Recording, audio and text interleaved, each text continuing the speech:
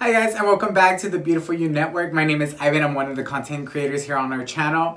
Now summer is here and so that means we're all gonna wanna look tan and bronze. So for today's video, I'm gonna be trying out something new and something fun. I'm gonna be trying out the Tanologist Face and Body Drops. So these are self-tanning drops that you add onto your either face moisturizer or body moisturizer. And then the more drops you add, the deeper your tan is going to get. Now I did pick up the shade Dark. So let me quickly read you the description. Now it says, made to measure glow serum for the face and body with advanced tanning technology to supercharge your existing skincare. Add to moisturizer for a hyper real, super hydrated glow odorless technology and transparent tanning system for zero streak and zero transfer. We're gonna see if that's true. Okay, directions. It says apply 1 to 12 drops to your favorite moisturizer, mix together and apply to skin. More drops equal deeper tan. Wash hands thoroughly after application. And it says caution must be worn with moisturizer. Okay.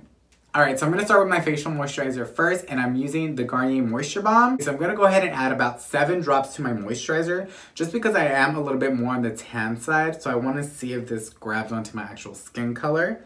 So let's go.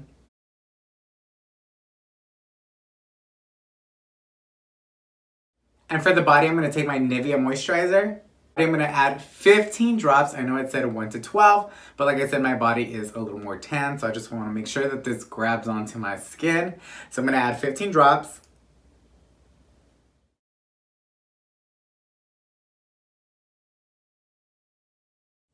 Alright guys, so I finished the rest of my body and I also went ahead and washed my hands.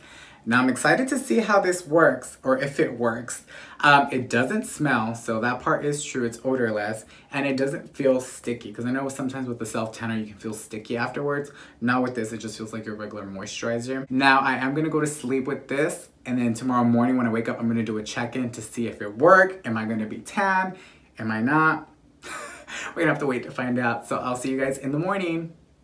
Alright guys, I'm back, and I am back two days later and I'll tell you why. Because the first time I applied this, I went to sleep with it, I woke up the next day, I showered, and I felt like nothing really happened. So I was like, you know what, let me give this another try.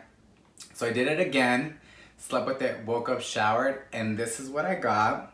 I feel like I look slightly tanner. It didn't do much, just slightly, very subtle, which is not what I was going for, but that's what I got.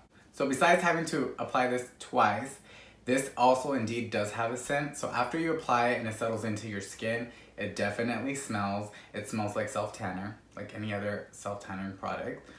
And it also left my hands orange. I don't know if you guys can tell because I've been washing my hands like nonstop, but it definitely left them a little orange, which was weird because I literally washed my hands right after application. So I was like, okay, also, I had my friend try it on as well, and she's of a much lighter complexion than I am. So I just wanted to see the difference between her complexion and mine. And she only had to apply it once, and the next morning, she definitely woke up looking way tanner than she did before.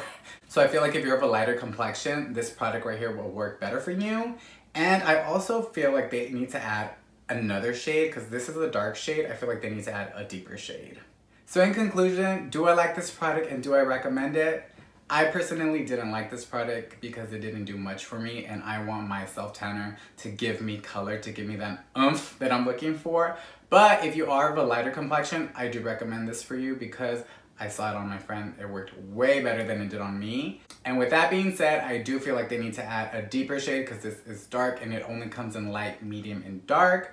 This also retails for $20 and you can find it at Target. Uh, I mean, it was cute. It was worth a try, but And this concludes this video, guys. Thank you so much for watching. Don't forget to subscribe if you're not already. Hit that notification bell so you are notified when we upload. And we will see you guys in our next video. Bye, guys.